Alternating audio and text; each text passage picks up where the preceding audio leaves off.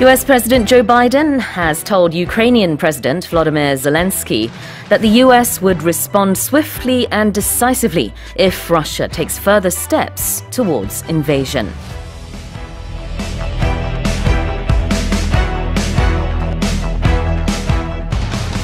A key US Canada border crossing has reopened after protesters against COVID 19 restrictions blockaded it for almost a week.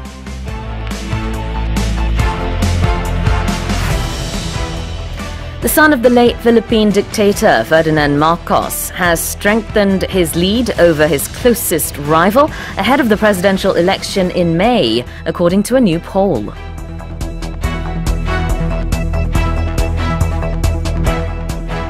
A majority of Swiss voters have voted to tighten the country's notoriously lax tobacco laws, approving a near total ban on advertising the hazardous products.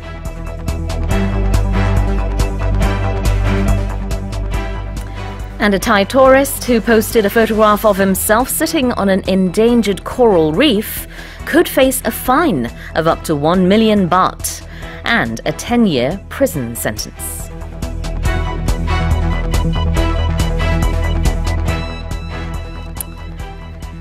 Well, let's take a closer look at today's headlines one by one.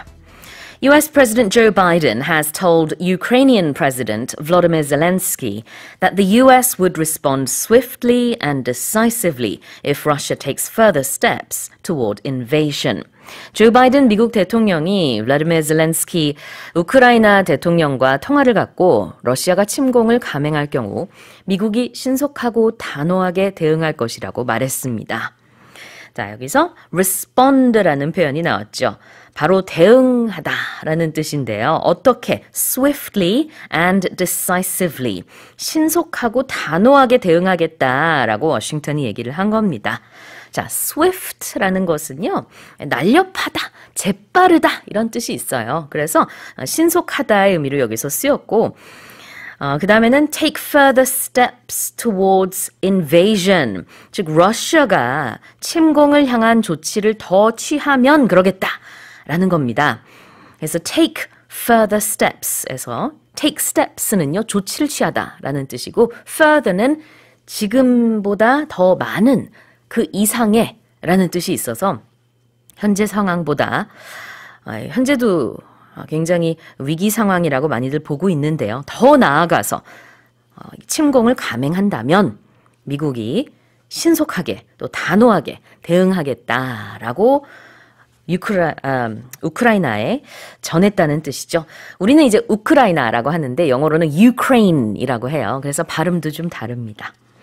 US President Joe Biden has told Ukrainian President Vladimir Zelensky that the US would respond swiftly and decisively if Russia takes further steps toward invasion. Let's move on to our second headline. A key US Canada border crossing has reopened after protesters against COVID 19 restrictions blockaded it for almost a week. 정부의 방역 지침에 항의하는 캐나다 트럭 운전사들의 시위로 거의 일주일간 봉쇄됐던 미국과 캐나다를 잇는 국경 다리의 통행이 재개됐습니다. 자, 이렇게 시위자들이요, 거의 일주일 동안, 6일 동안 이 다리의 통행을 막았습니다. 미국과 캐나다를 잇는 그런 국경 다리인데요. They blockaded it. They blocked it 라고 물론 할 수도 있겠죠. 막았다. block라는 표현 잘 아실 것 같은데요. 단순히 막은 정도가 아니고요. blockade 그러면은 차단하다, 봉쇄시키다 라는 뜻이 있어요. 그래서 여기서는 그 단어가 쓰였습니다. Protesters blockaded it. 여기서 it는 당연히 그 국경 다리가 되겠죠. A key US-Canada border crossing has reopened after protesters against COVID 19 restrictions blockaded it for almost a week.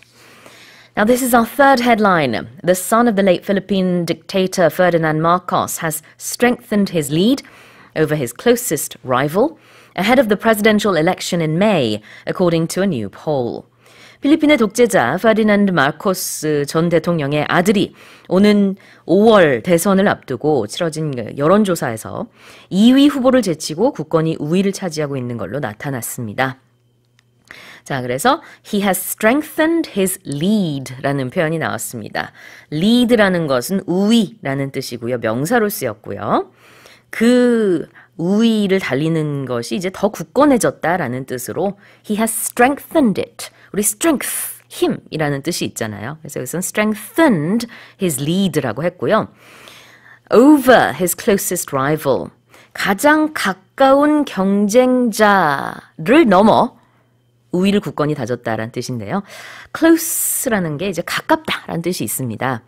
발음을 반드시 close라고 해야 돼요. close라고 하면은 어, 문을 닫다 할 때처럼 닫다의 의미가 있는데 close 이렇게 s를 좀 강하게 발음해 주시면은 어, 사람과 사람 사이에 가까울 때도 쓸 수 있고요. 어, 어떤 물건이 가까울 때도 쓸 수 있고요. 여기서는 이제 그렇게 어, 표차가 얼마 안 나는 격차가 얼마 안 나는 그런 어, 그 후보를 말하죠. 물론 이제 여론조사 결과입니다. 아, 그래서 여기서 음, close 우리가 이제 일상생활 속에서 어, 이 사람과 나는 굉장히 가까운 사이야 이런 말을 하고 싶으면요, we're very close. 이렇게 말할 수 있고요. 우린 그렇게 가깝진 않아. We're not very close. 이렇게 말할 수도 있습니다. Well, going back to the headline, the son of the late Philippine dictator Ferdinand Marcos has strengthened his lead over his closest rival ahead of the presidential election in May, according to a new poll.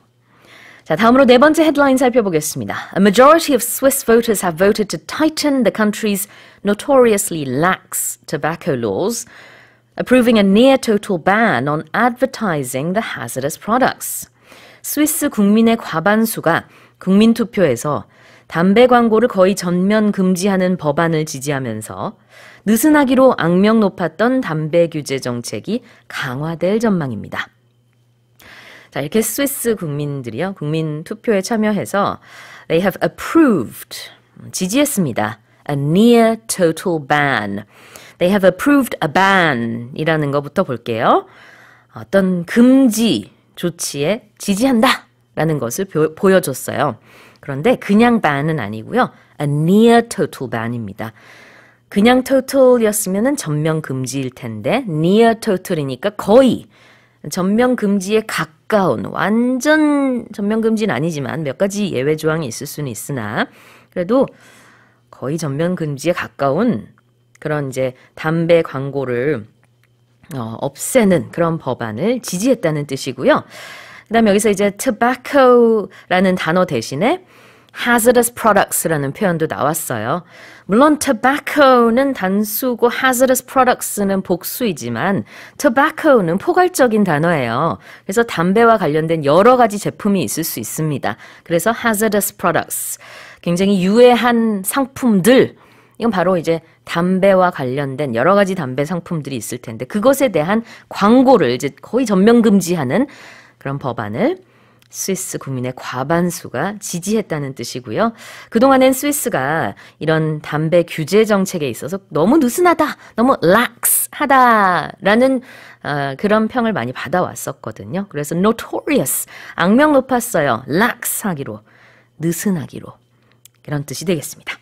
A majority of Swiss voters have voted to tighten the country's notoriously lax tobacco laws, approving a near total ban on advertising the hazardous products. 자, 마지막 헤드라인 보겠습니다. A Thai tourist who posted a photograph of himself sitting on an endangered coral reef could face a fine of up to 1 million baht and a 10-year prison sentence. 멸종 위기에 처한 산호초에 앉아 있는 사진을 소셜 미디어에 올린 태국 관광객이 최고 100만 바트의 벌금과 10년 징역형을 받을 수 있는 상황에 놓였습니다. 자, 우리 소셜미디어에 게시물을 올릴 때 post 하다, 동사 post 쓸 수 있거든요. 그래서 he posted a photograph, 사진을 올렸어요. of himself, 자신의 사진을 올렸는데요. 이게 endangered coral reef 위에 앉아 있었던 겁니다. 바로 그 멸종 위기에 처한 그런 산호초였어요. 아, 절대로 그 위에 앉아서는 안 되는 보호받아야 하는 그런 산호초였는데 그런 사진을 올리는 바람에 이제 적발이 된 거죠. He could face 아, 뭔가 직면할 수도 있습니다. A fine 벌금에 직면할 수 있다, 즉 벌금형에 처할 수도 있다라는 뜻이고요. 이 벌금이 얼마 정도가 될 거냐? of로 꾸며주고 있습니다. 그래서 a fine of up to 어, 최대 100만 바트. 100만 바트를 우리 돈으로 환산하면은요, 약 3,700만 원 정도가 됩니다. 아, 그 정도의 이제 벌금형에 처할 수도 있고요. 내지는 이제 10년의 징역형 또 역시 받을 수 있는 그런 상황에 놓였다고 하는데요. A Thai tourist who posted a photograph of himself sitting on an endangered coral reef could face a fine of up to 1 million baht and a 10 year prison sentence. Well, those have been today's morning special headlines.